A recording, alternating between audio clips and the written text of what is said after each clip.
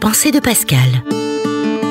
C'était en août 2014. Depuis quelques jours, je venais de prendre la direction de Sephora Music qui deviendrait plus tard Excaleo. Il devait être 20h et j'avais réuni ce soir-là toute notre équipe chez Jean-Luc, notre comptable, qui habitait juste à côté de nos bureaux de l'époque.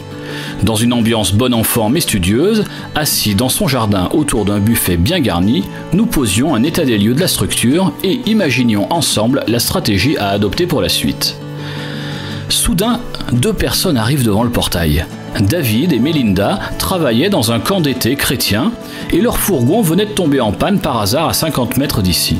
Normalement, là où nous étions installés, personne ne pouvait arriver par hasard. Dans ce village de la campagne valentinoise, ils ont vu le panneau Sephora, la musique de la vie, et ils se sont dit qu'ils connaissaient ce nom et qu'ils pourraient peut-être trouver de l'aide. Il se trouve que David Métro et moi, nous nous connaissions. On avait travaillé ensemble quelques mois plus tôt sur la communication du festival Made in France.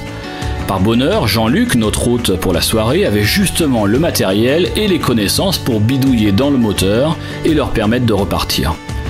Depuis, nos routes se sont régulièrement croisées avec David, notamment depuis trois ans qu'il habite ma région.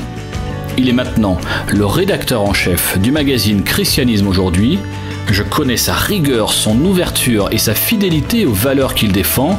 Je suis témoin des coups de pouce venus du ciel dont il est bénéficiaire et je suis enthousiasmé de pouvoir te faire connaître aujourd'hui le travail de qualité qu'il accomplit avec son équipe.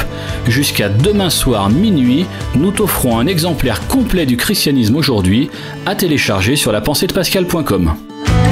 C'était la pensée de Pascal avec Pascal Pourtoucalian à retrouver sur la pensée de Pascal.com.